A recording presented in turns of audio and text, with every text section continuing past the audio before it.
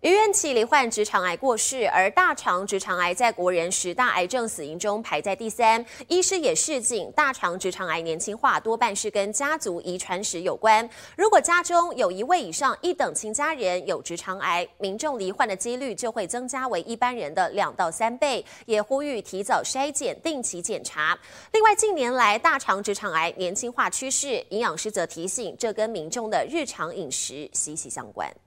手摇杯、咸酥鸡，样样都来。民众日常饮食不忌口，但根据国健署统计，台湾每年大肠癌的发生率和死亡率逐年增加，大肠直肠癌更是国人十大癌症死因的第三名，而且有年轻化的趋势。除了日常饮食习惯不佳的偶发性患者，医师示警，如果民众家中有一位以上的一等亲家属患有大肠直肠癌，就属于家族性直肠癌，发病几率是一般民众的两到三倍。而另一种风险更高的遗传性直肠癌，诊断标准是家族三代中有三名以上的大肠癌患者，而且连续两代都有分布。同时，最年轻的患者在五十岁以下就有这样的危险因子，而这类患者约占国内病患的百分之三。遗传性大肠癌来说，过去的报告告诉我们，终身罹癌的机会可以高达百分之四十到百分之七十。啊，如果家族成员有这样子的病史，可以提早到四十五岁或是四十岁以前。想要远离直肠癌风险，营养师也提醒，日常饮食中像是高油高糖食物、加工肉品，还有重调味的。腌制食品都是饮食大忌，建议他要增加一些全谷杂粮类的摄取，